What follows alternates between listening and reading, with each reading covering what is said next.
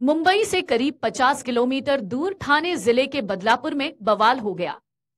दरअसल दो नाबालिग छात्राओं के यौन शोषण का मामला सामने आया है। जानकारी होने पर इन छात्राओं के परिजनों समेत अन्य सैकड़ों लोगों ने स्कूल का गेट बंद कर हंगामा किया।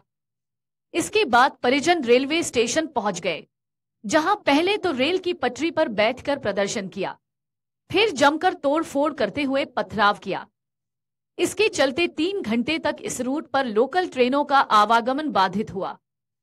हालाँकि पुलिस ने हंगामा कर रहे परिजनों से शांत रहने की अपील की है। उधर उप मुख्यमंत्री देवेंद्र फडणवीस ने जाँच के आदेश दिए हैं। इसके बाद वरिष्ठ आईपीएस आरती सिंह के नेतृत्व में मामले की जाँच के लिए एसआईटी का गठन किया गया है।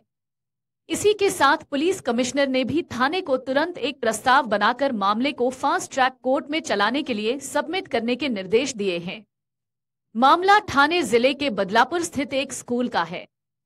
पुलिस के मुताबिक मामला सामने आने के बाद ही आरोपी को गिरफ़्तार कर लिया गया था। लेकिन परिजनों का कहना है कि इस संबंध में स्कूल प्रबंधन को आगे आकर माफ़ी मांगनी चाहिए। दरअसल बच्चियों के साथ छेड़छाड़ करने वाला स्कूल का स्वीपर पुलिस के हत्थे चढ़ गया है। यह घटना 14 अगस्त की है।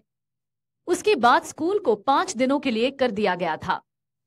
पीड़ित बच्ची के परिवार का आरोप है स्कूल ने एफआईआर दर्ज कराने में मदद नहीं की थी, जिसकी वजह से एफआईआर दर्ज होने में समय लगा। अगर आप ये वीडियो YouTube पर देख रहे हैं तो हमारे चैनल को सब्सक्राइब करें और बेल आइकन को दबाना ना भूलें। अगर आप फेसबुक पर यह वीडियो देख रहे हैं तो हमारे पेज को लाइक करें।